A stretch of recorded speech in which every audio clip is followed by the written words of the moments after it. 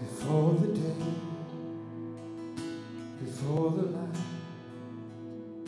before the world revolved around the sun.